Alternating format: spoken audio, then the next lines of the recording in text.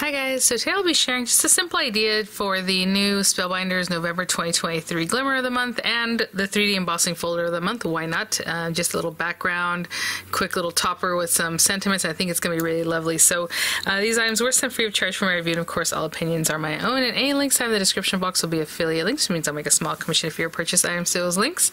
If you are seeing this video, uh, you are able to sign up now if you're a new member.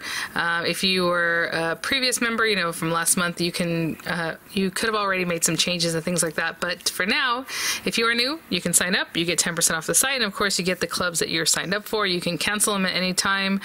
Um, you can add it back. Um, it's there's no commitment, you know. So even uh, next week, if you decide, okay, you know, I just wanted this one, but I'm not going to stay on for next month, just cancel it, and no big deal. But if you do want to get back on next month because you like, you know, you saw it and you're like, oh, I wish, you know, I, I would have just stayed on, just add it again on the fifth or sixth whenever they open the uh, window for that.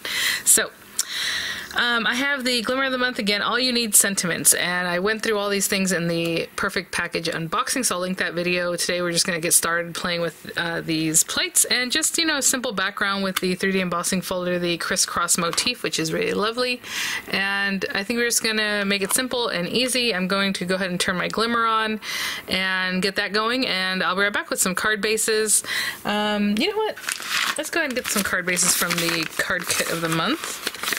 Um, let's make two cards since this will be very quick, I think. So I'm going to grab two of the card bases. We can do one maybe white on white oh, you know what? We should use this on a different color. Okay, cool. In my mind, I'm thinking white paper. You know, you do your glimmer, but you can glimmer on literally any paper. You want to use smooth paper. Spellbinders has glimmer paper that's specifically for glimmering. It's just very smooth uh, cardstock.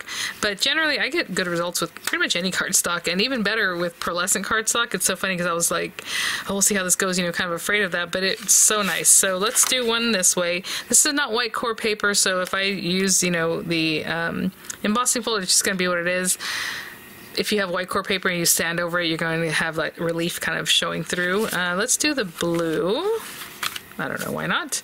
And should we glimmer on this color?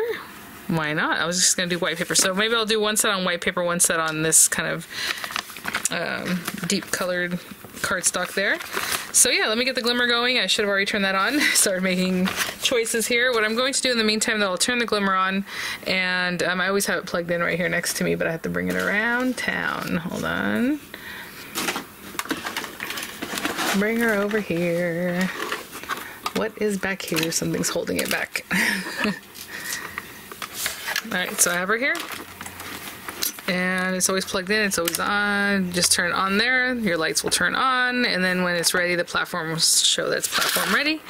What I'll do in the meantime is simply just cut these down. Um, I want them to be matte layered a little bit so four and an eighth by five and three eighths I think. And then um, on both of these guys and I'll be right back. down really nicely and easily on that board.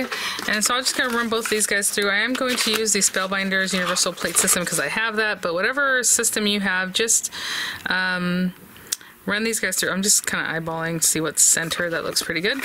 Um, usually a little thinner uh, plate sandwich than you normally would do would help. So I'm just going to take the A plate with the universal plate system and the adapter and I'll run this one through and I'll run this one through and I'll be right back. You know I have to show this to you. Love it. I already know it's going to be amazing so here we go. It's really in there but check that out beautiful. Um, sometimes, like right now, I cut it first and then, you know, I roll it through. If you have to straighten it up, because I know again, the 3D embossing folder has that cool like carved butter look. It might have bowed out a little bit, so you can just take it back to your trimmer, your guillotine, and just trim that piece down. Um, you know. All right, I'll do the other one, and hopefully our glimmer system's just about ready, so I will be right back. And that is that, so I'll put over here. This guy, gorgeous. And I'm just gonna glue those down. In the meantime, onto my card bases, okay? Oh, you know, let me show you this. So that's the emboss side, of course, looks gorgeous. And that's the deboss side, which also looks really nice. Actually, it looks like gift wrap. Something about it looks very shiny now. See that? It's so pretty. Okay, I'm just gonna glue them down. Well, you know what? Nah, I don't know. Yeah, we'll do it this way. Well, I'll just grill it down traditionally, but uh, the other side looks really awesome too. I'll be right back. So clu- glued, glued my card toppers down. So we have those guys ready to go. And I'm just place this up here. For now, I'm just going to place like um, something like this, something heavy on top of them together so that will stay down. Platform has been ready for a few minutes here. I don't know if I'm gonna do both of them at the same time, both in the same color. I think I still need some white ones. So what I'll do is we'll do this one. Not sure why I gave myself such a little space there for this, but that's okay. So what I'm going to do is just put this centered and then the other one, again, it has everyday sentiments. It has Christmas. It has different holidays, celebration type things. I'm gonna use this guy. This is the one from this month, the matte gold. Uh, in my experience, the little matte ones have been. Sometimes they're a little harder to work with. The glimmer takes all the guesswork out of any of this stuff, so um, we'll just pop it on there. But a nice fresh roll of matte foil, I feel like, does the best. Um, it's a little like crunchier. I don't know how to explain it. I guess because it's matte, so it's a little more. Oh, it has like a rough background to it. Okay, hold on. Should have brought out my cutter today, but I did not. So we're just gonna eyeball that. Again, I'm cutting down my paper, my paper, my foil, pretty much right around the shape. Because if you have extra, you're just gonna overfoil, or you know, it just leads to having those kinds of issues. So I'm just going to, this thing has been ready. For right now, I'm just going to plop this down like this. Now, if I wanted to, I could have done a different method, but I like to set up my sandwich or my little, you know, setup here. And then I put it on my um, glimmer, and that's just what I like to do. You can do whatever you like. Um, some people like to build it up here. If you're going to build it up here, you need your plate first with the words or your image facing up. You need your foil with the silver side facing up, and then your paper facing down the side of the paper that you want to be glimmered. I do have some paper here. I don't know. This is just some basic paper. Um, it, you know, I think it's from the card kit from the other day. And I might lose a bit here. Actually, maybe I shouldn't use this scrap. See? You always gotta think about it because then you might end up messing it up get yourself a full size piece of paper. so I'll be right back. I'm just going to grab, actually I'll just grab it here from the kit also. So just white paper from the kit. And, you know, give yourself a little room. I don't know why on the other one I was so close there. Okay, I'm going to cut down some foil, do the same thing like this. I'll be right back. So plate side down. And usually you run one plate through at a time, but if I have space for it, I don't mind like bringing this guy in. I usually just kind of keep them separate. So right in the middle, I like to put my plates on top right now. Some people like to do it after where it heats up, whatever it is you want. So I, I use both of them at the same time. And I'll just lay them on there, press timer, and once the timer goes solid, I'll run it through.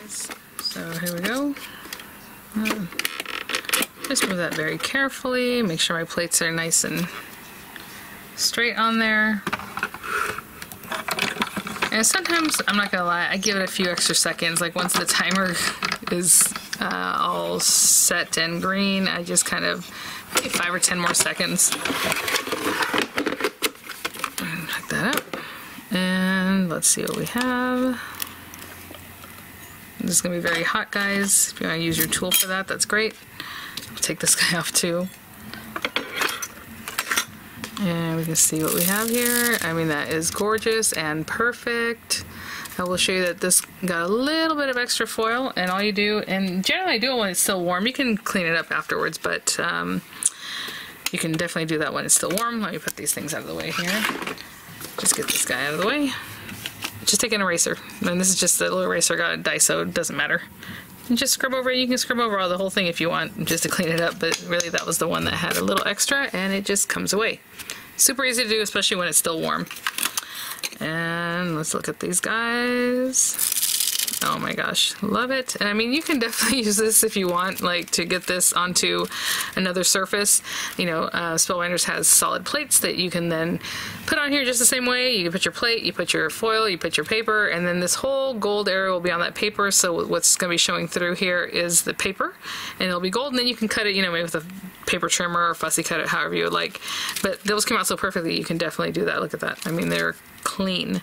I need to make a video on that, guys. But there are plenty of videos out out there, people showing you that. So there we go. Um, I think it looks pretty good. And, yeah, nice and clean. Just trying to see if that bottom one looked like it needed some adjustment. So then we take our die. This month's, I'm telling you, the set is super simple, but it's so important. Everything that's in there is really great. You're going to get lots of use out of it. And I'm eyeballing literally all of them at once just to see left and right. That looks about right. Up and down, you know. How's that looking? Definitely tape it on both sides at least two points of contact of tape because you do not want this to shift. I'm not super picky. I'll still use them if they're a little bit off, but um, you know, definitely tape those down. I tape them towards the outside. I don't want my foil getting picked up after we did that foiling. So I will run this through and I'll run this one through and we'll have tons of sentiments. I'll be right back. Of course, it's always fun to open this up and just have all these pieces that look awesome. Thanks so much. Congratulations. Thanks a million. Happy birthday, gift for you. I mean, there's just so much. So I'll do the same with this one. All right, guys. Gorgeous, gorgeous. I mean, look at that. I love it. Okay, so um, we have lots of fun things here. I mean, we can take this one, like hello friend, you know, something basically that's. So happy for you or whatever it might be. Maybe there's some congratulations in order or, you know, congratulations, so happy for you. Holiday greetings, that's a little bit different. A gift for you, Christmas wishes, thanks a million. You know, I mean, that looks lovely too. How about something like that? And then maybe on this one, um, I can bring some of the ephemera here. Ooh, that's a nice big focal point. Doesn't it go like this? I don't know. Um, thanks a million. I mean, something as easy as that. That's cute. Okay, let's do that. I'm easy. So what I'm going to do is we have our dimensionals in here. I'm just going to glue down on this one. I mean, that was super easy, a little piece of ephemera.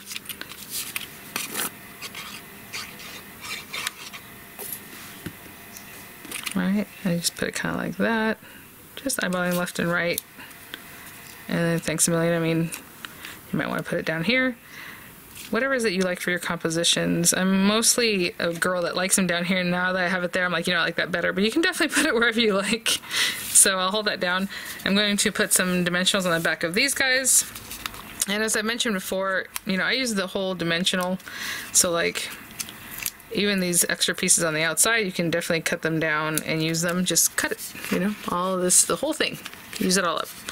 But I'll be right back with dimensionals and carriers removed on both of these, and I'll be right back. So we have that. I stick it down a little better there. Thanks a million. Something like that. Looks really nice. Loving that background, little ephemera, and then the thanks a million. Really cute. Maybe you want to add some of your sequins or some kind of dots, something like that. And on this one, we're just going to have hello friend maybe just like an eighth of an inch from the end there. We want to pay attention to how straight we have it since that's all we're focusing on, right? Hello friend. And then so happy for you. Just a little bit further in from that, about the same distance from the edge of the card. It's a little bit more this way. And making sure it's straight. And there we go. Really, really awesome set. I love the sentiments. Uh, the clear stamp of the month is so cute. I love the sentiments on that. The dies that go with it are amazing. I, you know, I'm a fan of sentiments, so I'll just put this in my little uh, box and I'll just dip in there. I know we have, you know, the stitching die of the month and some other months, uh, some other months, some other items that we're going to be playing with. So I have sentiments ready to go for those. Really, really great. So thanks so much for watching, guys. Thank you, Spellbinders, for sending these items for review. Easy quick, easy cards here. Uh, thanks for watching. I'll have images coming up. I'll have the links in the description box, and I will see you all at the next one. Bye now.